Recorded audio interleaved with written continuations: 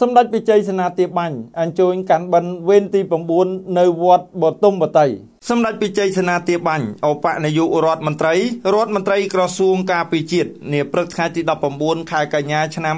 2022នេះរួមជាមួយឯកឧត្តមលោកជំទាវនាយឧត្តមសេនីយ៍ជារដ្ឋលេខាធិការអនុរដ្ឋលេខាធិការថ្នាក់ដឹកនាំក្រសួងការពារជាតិព្រមទាំងមន្ត្រីក្រមអាវ៉ាត់និងប្រជាពលរដ្ឋដែលជាពុទ្ធបរិស័ទចំណុះជើងវត្តជាច្រើនរូបបានអញ្ជើញចូលរួមកាន់បិណ្ឌវេនទី9នៃពិធីបុណ្យភ្ជុំបិណ្ឌនៅវត្តបទុមវតីស្ថិតក្នុងសង្កាត់ចតុមុខខណ្ឌដូនពេញរាជធានីភ្នំពេញពេញសូមបញ្ជាក់ថាពិធីបុណ្យភ្ជុំបិណ្ឌគឺជាពិធីបុណ្យដ៏ធំមួយនៅក្នុងចំណោមពិធីបុណ្យប្រពៃណីជាតិខ្មែរផ្សេងទៀតដែលប្រជាពលរដ្ឋខ្មែរជាពុទ្ធបរិស័ទតែងបានប្រារព្ធពិធីធ្វើរៀងរាល់ឆ្នាំ ហើយដែលពិធីបុណ្យភ្ជុំបិណ្ឌតែងតែប្រារព្ធធ្វើឡើងដែលមានរយៈពេល15ថ្ងៃគឺចាប់ពីថ្ងៃ1រោចខែភទ្របទដល់ថ្ងៃ15រោចខែភទ្របទដែលពិធីបុណ្យនេះត្រូវបានធ្វើឡើងដើម្បីឧទ្ទិសកុសលផលបុណ្យដល់ដួងវិញ្ញាណក្ខន្ធនៃអ្នកមានគុណទាំងឡាយមានមេដាបេដាជីដូនជីតាគ្រូឧបជាចារ្យបុព្វបុរសជាតិនិងបងប្អូនជនរួមជាតិដែល បានលាចាកលោកយើងទៅកាន់លោកខាងមុខមកទទួលយកកុសលផលបុណ្យនេះព្រមទាំងបានរួចផុតពី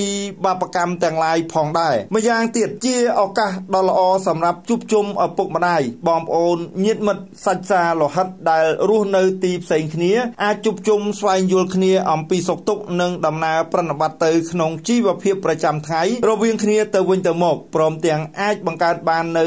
សាមគ្គីដ៏ទូលំទូលាយផងដែរហើយនៅក្រោយថ្ងៃជ័យជំនះ7មករាឆ្នាំ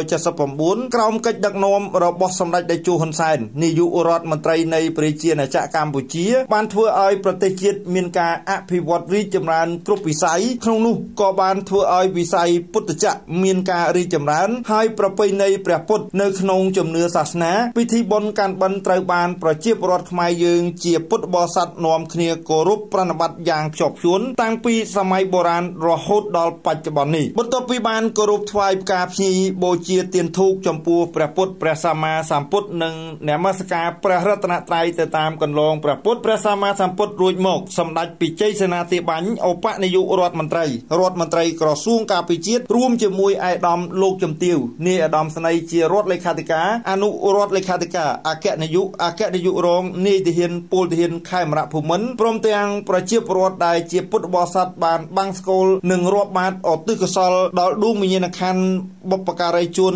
មានមេដាបេដាជីដូនជីតានិងញាតិកាទាំង7សន្តាន ដែលបានបែកបាក់ចែកឋានទៅកាន់លោកខាងមុខព្រមទាំងឧទ្ទិសកុសលដល់ដួងវិញ្ញាណក្ខន្ធបុព្វបុរសយុទ្ធជនយុទ្ធនារីខេមរៈភូមិន្ទដែលបានលះបង់អាយុជីវិតដើម្បីបព្វហេតុជាតិមាតុភូមិនិងបងប្អូនជាប្រជាពលរដ្ឋដែលបានបាត់បង់អាយុជីវិតនៅក្នុងរបបប្រល័យពូជសាសន៍ប៉ុលពត និងបានបួងសួងផងដែរសូមឲ្យថ្នាក់ដឹកនាំមន្ត្រីរាជការកងកម្លាំងប្រដាប់អាវុធខេមរៈភូមិន្ទនិងប្រជាពលរដ្ឋកម្ពុជាទាំងអស់នៅទូទាំងព្រះរាជាណាចក្រកម្ពុជាទទួលបាននិងជួបប្រទះតែសេចក្តីសុខសេចក្តីចម្រើនគ្រប់គ្រប់គ្នានិងប្រទេសជាតិមានសុខសន្តិភាពជារៀងរហូតក្នុងពិធីបុណ្យកាន់បិណ្ឌវេនទី9នេះសម្ដេចពិជ័យសេនាទាបាញ់ឧបនាយករដ្ឋមន្ត្រីរដ្ឋមន្ត្រីក្រសួងការពារជាតិបានវេប្រគេនតេយ្យទាននិងគ្រឿងឧបភោគបរិភោគជាច្រើនមុខជូនដល់ព្រះសង្ឃវត្តបទុមវតីនាឱកាសនោះរួមមានអង្ករ500គីឡូក្រាមត្រីខកំប៉ុង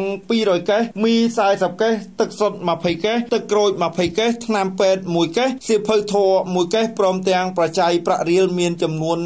51លានរៀលប្រាក់ដុល្លារមានចំនួន10000ដុល្លារ120ដុល្លារនិងប្រាក់បាត2000បាត